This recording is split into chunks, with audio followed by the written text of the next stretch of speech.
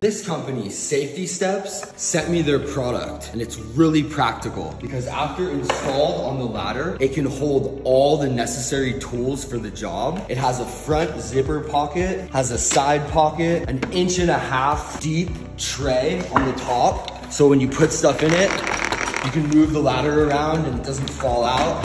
It has this side hook that holds the drill. Very, very convenient. Another really cool feature is you can fit a gallon paint bucket on the top of the ladder. So if you're painting, still move it around and it holds the gallon nice.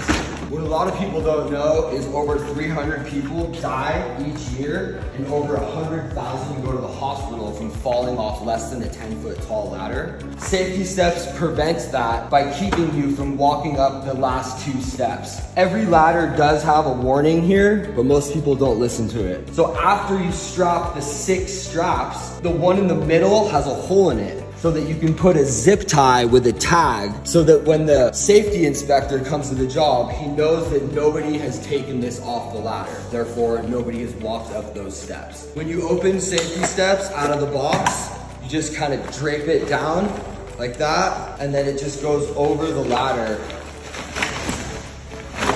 just like that. And it has three straps in the front and three straps in the back to secure it to the ladder.